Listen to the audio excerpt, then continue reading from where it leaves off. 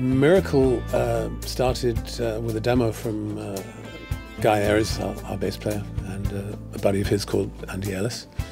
Um, I liked uh, the demo very much. We revamped it here with, with the band, and uh, then it kind of sat for a long period while we recorded all the other songs until I had this brainwave to call Jason Mraz to to sing it for us, and Jason and I had met a couple of years ago um, under strange circumstances. He wanted to uh, grow coffee on his uh, on his farm, and a neighbour here, uh, just a quarter of a mile away from, from the studio here, um, does exactly that. And he introduced us.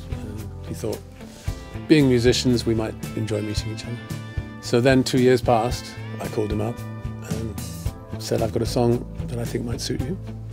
And he said, I love it. He said, uh, sounds like it could have been recorded with Eye in the Sky back in 1982. He said he said he heard Eye in the Sky sitting in his mum's car when he was a kid. I am that old, folks. Sorry.